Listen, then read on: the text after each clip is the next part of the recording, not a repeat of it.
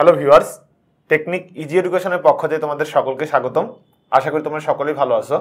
তো আজকে আমি তোমাদের একাদশ দ্বাদশ শ্রেণির ভূগোল দ্বিতীয় পত্র নিয়ে আলোচনা করব এবং আজকে আমরা ভূগোল দ্বিতীয় পত্রের বাণিজ্য নামক অধ্যায়ের তিন নম্বর পর্বে বাংলাদেশের বাণিজ্যের প্রকৃতি নিয়ে আলোচনা করব। এখন দেখো আমরা এখানে নির্দিষ্ট করে বলতেছি যে বাংলাদেশের বাণিজ্য। বাণিজ্য তো বিভিন্ন দেশই বাণিজ্য করে। আমরা এখানে বলতেছি বাংলাদেশের বাংলাদেশের বাণিজ্য। এই কথাটা আমরা এখানে ব্যবহার করতেছি। এখন এইখানে যে বিষয়টা হচ্ছে তার সাথে কিন্তু একটা প্রকৃতি কথাটা যুক্ত আছে। বাংলাদেশের বাণিজ্যের প্রকৃতি। অর্থাৎ ধরনটা আহ, কথা এখানে বলা আছে। তো যেহেতু আমরা বাংলাদেশের বাণিজ্যের প্রকৃতি নিয়ে কথা বলব সেই ক্ষেত্রে আমরা দেখব যে আমাদের বাংলাদেশের বাণিজ্যটা কোন মাধ্যমে আছে এবং কীভাবে আমাদের বাংলাদেশের বাণিজ্যটা সম্পাদন করা হচ্ছে। আসলে প্রত্যেকটা দেশের বাণিজ্যের সাথে আমাদের বাণিজ্যের সরাসরি আমরা হুবহু মিল পাবো না। কেননা আমরা ওই যে বাণিজ্যের নিয়ামক পড়ার সময় দেখেছি যে এক এক দেশের বাণিজ্য কিন্তু এক এক রকম হবে। কেননা সেই দেশের প্রাকৃতিক সম্পদ, সেই দেশের অর্থনৈতিক ব্যবস্থা, সাংস্কৃতিক অবস্থা এবং রাজনৈতিক অবস্থার ভিন্নতা রয়েছে। এই কারণে প্রত্যেকটা দেশের বাণিজ্যিক অবস্থান কিন্তু একরকম থাকবে না, ব্যতিক্রম হবে, আলাদা আলাদা হবে। সেই ক্ষেত্রে আমরা আজকে একদম নির্দিষ্টভাবে বাংলাদেশের বাণিজ্যের দিকটা আমরা আলোচনা করব। এখন দেখো আমরা এক নম্বর বলতে পারি, কাঁচামাল ও শিল্পজাত দ্রব্য আমদানি। কাঁচামাল ও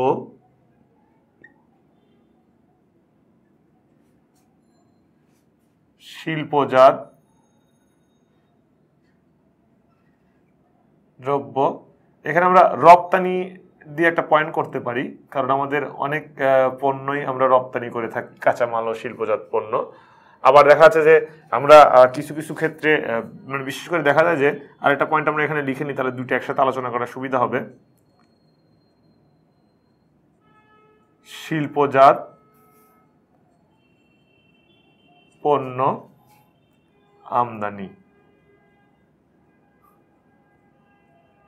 এই দুটো পয়েন্ট কাছাকাছি, অর্থাৎ তোমাদের মনে রাখাও সুবিধা হবে এবং লিখাও সুবিধা হবে।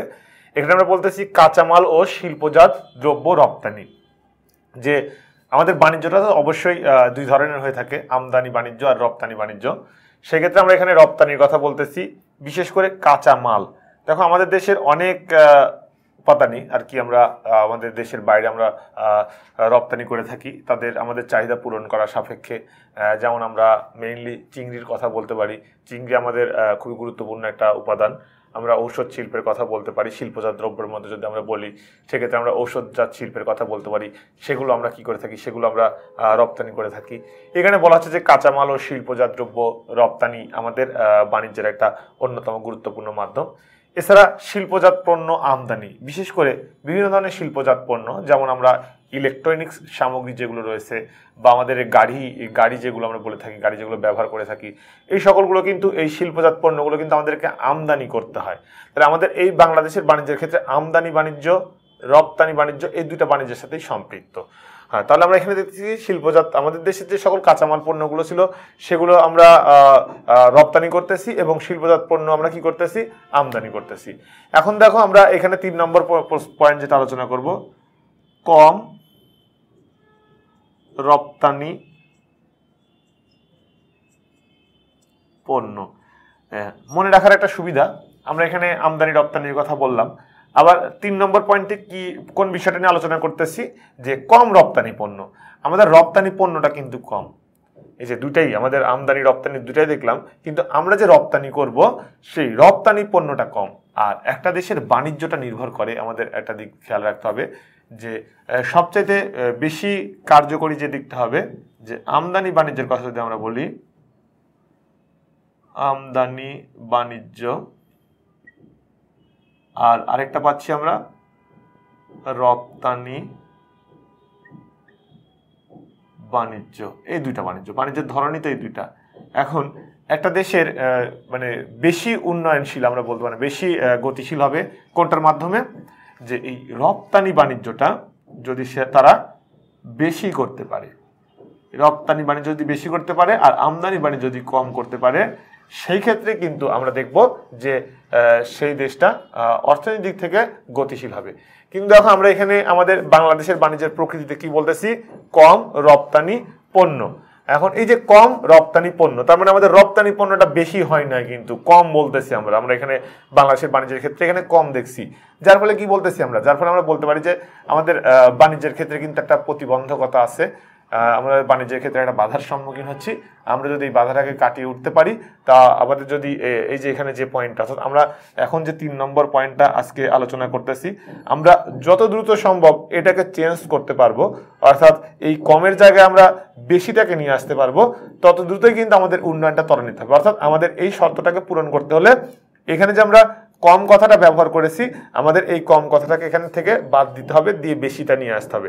আর এই বেশিটা নিয়ে আসা তো নিজের ইচ্ছা মতো করা সম্ভব না যে আমি এখানে কম না লিখে বেশি লিখে দিলাম, আর আমার বাণিজ্য ব্যবস্থা উন্নত হয়ে গেল, তা তো না। এটা আমাদের কার্যক্রমের মাধ্যমে, আমাদের প্রচেষ্টার মাধ্যমে এটা সম্পাদন করতে হবে। এরপর দেখো চার নম্বর, প্রতিকূল বাণিজ্যিক শর্ত। প্রতিকূল বাণিজ্যিক বাণিজ্যিক শর্ত। বাণিজ্যিক শর্ত। তাহলে এখানে প্রতিকূল বাণিজ্যিক শর্ত। আমাদের বাণিজ্যিক ক্ষেত্রে বেশ কিছু শর্ত আরোপ করা হয়েছে, যার ফলে আমাদের বাণিজ্য সম্পাদন করতে সমস্যার সৃষ্টি হয়। এইটা একটা কারণ। আর আরেকটা কারণ রয়েছে যে, আমরা মার্কিন যুক্তরাষ্ট্রের কাছ থেকে বাণিজ্য করার জন্য যে জিএসপি সুবিধাটা ভোগ করতাম বর্তমান সময়ে আমাদের সেই জিএসপি সুবিধাটা স্থগিত করে দেওয়া হয়েছে। যদিও সেটা পুনরায় ফিরিয়ে আনার জন্য চেষ্টা করা হচ্ছে, যার ফলে কিন্তু আমাদের এই যে বাণিজ্যিক ক্ষেত্রে সমস্যার সৃষ্টি হচ্ছে। এরপর আমরা দেখব যে আমদানি দ্রব্যের আধিক্য। দেখো পাঁচ নম্বর পয়েন্ট আমরা দেখি। আমদানি দ্রব্যের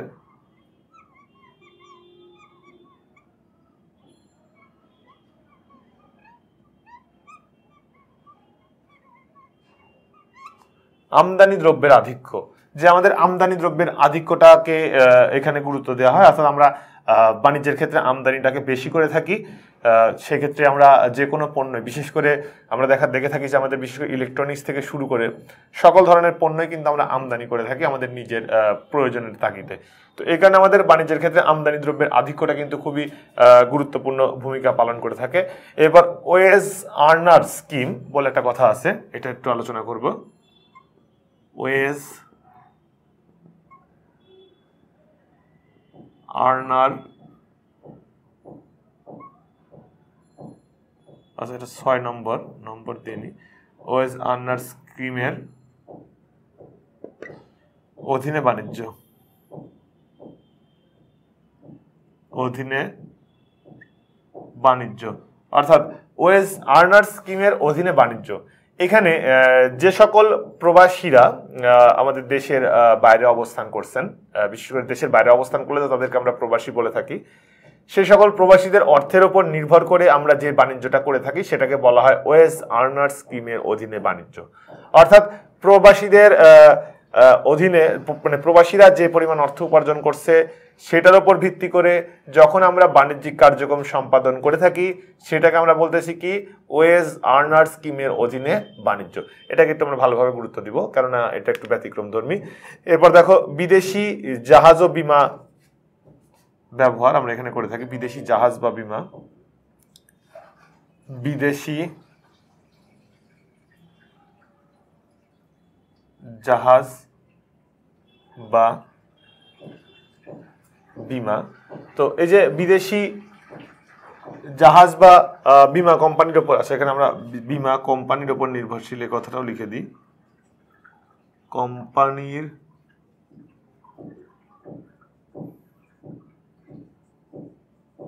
ওপর নির্ভরশীল। এখানে আমরা দেখব যে বিদেশি জাহাজ বা বিমা কোম্পানির উপর নির্ভরশীল। আমাদের বাণিজ্যিক কার্যক্রমগুলো সম্পাদনের ক্ষেত্রে আমরা কি করে থাকি? যে বিদেশি জাহাজ বা বিমা কোম্পানিগুলো রয়েছে, সেই বিমা কোম্পানির উপর নির্ভরশীল হয়ে থাকি। এটা আমাদের বাণিজ্যিক প্রকৃতির একটা অংশ। এখন দেখো, এখানে আরেকটা কথা বলা আছে, যে আমরা এখানে সাত, আট নম্বর দেখব। বিলাসজাত দ্রব্য বিলাসজাত দ্রব্য, আমদানি, হ্রাস অর্থাৎ বিলাসজাত দ্রব্য আমদানি হ্রাস করতে হবে, কমাইতে হবে। এবং আমাদের বাণিজ্যের যে প্রকৃতির কথা আমরা দেখতেছি বা আলোচনা করতেছি, আমাদের এই বাণিজ্যের প্রকৃতির ক্ষেত্রে সেই বিলাসজাত দ্রব্য আমদানি হ্রাসের উপরেই কিন্তু গুরুত্ব দেওয়া হয়েছে। এবার সর্বশেষ আমরা আরেকটা পয়েন্ট নিয়ে আলোচনা করব, যে সমুদ্র পথে অধিক বাণিজ্য। সমুদ্র পথে সমুদ্র পথে অধিক বাণিজ্য। তো দেখো আমরা এইখানে পরিবহন বাণিজ্য নামক অধ্যায় পড়া, পরিবহন ও যোগাযোগ নামক অধ্যায় পড়ার সময় আমরা কিন্তু সমুদ্র পথটাকে বেশি গুরুত্বপূর্ণ একটা পথ বলেছিলাম কিসের জন্য? বাণিজ্যের জন্য। কেননা বাণিজ্য করার জন্য আমাদের ভারী ভারী ভারী যে পণ্যগুলো আনা নেওয়া করা হয়, সেই ভারী পণ্যগুলো কিন্তু আনা নেওয়া করার জন্য হলেও আমাদের সমুদ্র পথটা দরকার হয়। সেক্ষেত্রে আকাশপথ বা সড়কপথ তো ব্যবহার করা যায় না অসম্ভবপর হয়ে ওঠে। তো সেক্ষেত্রে সমুদ্র পথে পথটাই একটা গুরুত্বপূর্ণ একটা মাধ্যম হিসেবে বিবেচিত। সেক্ষেত্রে আমাদের বাংলাদেশের বাণিজ্যের প্রকৃতির ক্ষেত্রে এই সমুদ্র পথটাকেই তারা বেশি গুরুত্ব দিয়ে থাকে এবং আমাদের বাণিজ্যের অধিকাংশ কার্যক্রম কিন্তু সমুদ্র পথে হয়ে থাকে। সর্বশেষ আরেকটি পয়েন্ট নিয়ে কথা বলি, যে সরকারি নীতি। সরকারি নীতি। এটা আমাদের বাংলাদেশের বাণিজ্যিক প্রকৃতির মধ্যে একটা গুরুত্বপূর্ণ পয়েন্ট হিসেবে বিবেচিত। কেননা এখানে সঠিকভাবে বাণিজ্যটাকে সম্পাদন করার জন্য সরকার বিভিন্ন ধরনের নীতি গ্রহণ করে থাকে, বিভিন্ন দেশের সাথে সুসম্পর্ক বজায় রাখা। আসলে এই যে বাণিজ্যের ক্ষেত্রে যে আমাদের রাজনৈতিক দিকটা রয়েছে, সেই রাজনৈতিক দিকটার বহিঃপ্রকাশ কিন্তু আমরা এখানেই পাবো।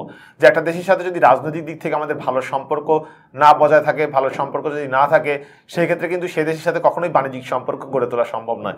এই কারণে সরকারের নীতিটাও কিন্তু মুখ্য ভূমিকা পালন করে থাকে আমাদের বাণিজ্যের ক্ষেত্রে। এবং বাংলাদেশের বাণিজ্যের প্রকৃতি যদি আমরা আলোচনা করতে যাই, সেক্ষেত্রে আমরা দেখব যে বাংলাদেশের বাণিজ্যের ক্ষেত্রে সরকারি নীতিটাও একটা গুরুত্বপূর্ণ নীতি হিসাবে বিবেচিত।